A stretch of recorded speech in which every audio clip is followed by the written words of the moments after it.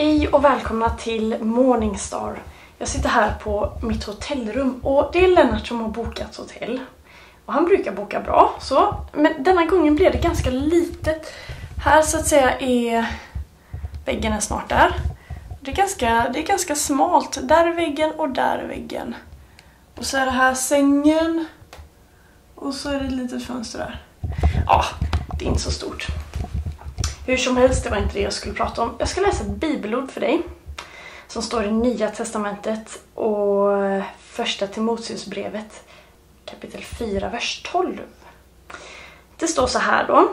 Låt ingen se ner på dig för att du är ung, utan var en förebild för de troende i allt du säger och gör, i kärlek, tro och renhet. Det kan ju vara så att man ibland känner att nej men, ingen lyssnar på mig för jag är så liten och jag är inte lika gammal och klok som de andra är och de har mycket bättre grejer att säga. Men det står att låt ingen se ner på dig. Låt ingen tro att du är sådär liten för att du är ung. Utan var en förebild för det troende. Alltså var ett bra, ett gott exempel, en bra förebild. När man, när man är en bra förebild då är man en person som visar för andra att man visar för andra kloka grejer och bra grejer och sådana saker.